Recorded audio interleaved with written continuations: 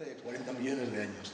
Sin embargo, teníamos aquí ya hace 290 millones de años una especie de islotes levantados, la cabecera de Ayacuarría, lo que estaba por encima de Ayacuarría, Ayacuarría es el núcleo de lo que había ahí. Luego la zona de Borchiria, Echalar, Vera Vidasoa, eh, hacia la zona de Navarra, eh, Quinto Real y tal. Luego la zona de la cabecera del río Arga. Esto sería un poco las zonas continentales que teníamos en Euskal Herria, eh, con un clima tropical, había, era el periodo carbonífero y había en todas estas zonas emergidas había mucha humedad y, se formaron pues, grandes bosques de, de, helechos arborescentes y tal, que dieron lugar a la formación de capas de carbón y tal. Es lo más antiguo que conocemos en Euskal Herria en cuanto a, vida continental. El resto, todo esto azul, estaba bajo el mar. Los alrededores de San Miguel de Aralar hace 120 millones de años. O sea, lo que ibas allá y ves toda la sacana y ves enfrente Urbasa y tal, todo lo precioso, pues estaba bajo el mar y lo que podéis ver allá es algo parecido a esto. Un montón de corales, peces, eh, plancton y cosas marinas de poca profundidad y muy limpias, pues como el Caribe. En los últimos años, pues con el desarrollismo urbanístico y tal, el aumento de la población y pues toda la migración, pues todo lo que todo el fenómeno de concentración humana y tal por aquí, pues lo que ha hecho es que bueno, pues se ha llenado todo, las ciudades han crecido, los pueblos han crecido y hay un crecimiento bastante fuerte, ¿no?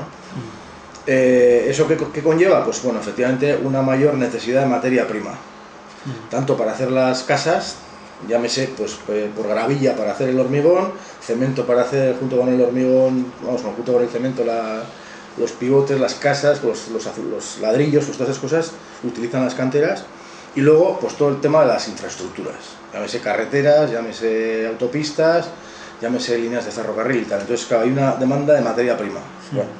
Eso ha sido bastante creciente a lo largo de los últimos años, de los últimos decenios. ¿no? ¿Qué pasa ahora? Bueno, pues está pasando una cosa muy bestia, ¿no? que es pues que en los últimos años, pues de alguna manera muchas de las canteras que incluso habían estado ya habían estado bastante paralizadas, pues porque se había terminado de construir más o menos a un nivel X, ¿no? Pues han vuelto a ponerse otra vez a reabrirse, pues porque hay una serie de obras, de macroobras, que van a absorber o que o dicen que tienen que absorber un montón de materia prima.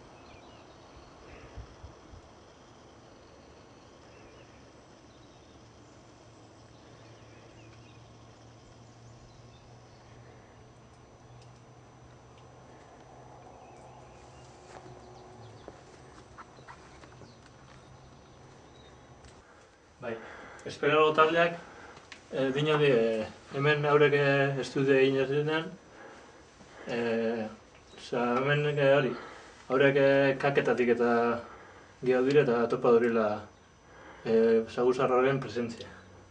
Eta hu barruan oso handi izin behar da, hemen dik, ba, ez da, emotu nago estu ezi dela eta hari ba, gero barruan kalidade handiago ekin behar da. Sí, son calizas, sobre todo son calizas. Entonces, bueno, Eh, en, muchos, en muchas zonas donde estaban esos, esos pueblos, donde afloraban esos arrecifes de coral antiguos, pues había pequeñas canteras que igual llevaban desde la Edad Media funcionando, pero se habían abandonado hace 200 años y ahí estaban, ¿no? Había vuelto a salir la vegetación, los arbolitos y tal. Pero últimamente eh, hay un movimiento, se está detectando un movimiento además de, de cierta gente o de ciertas empresas, núcleos de, económicos, pues que están haciéndose un poco con toda la las posibilidades y están un poco legitimando de alguna manera así pues la utilización de esos materiales que por otra parte eh, son públicos.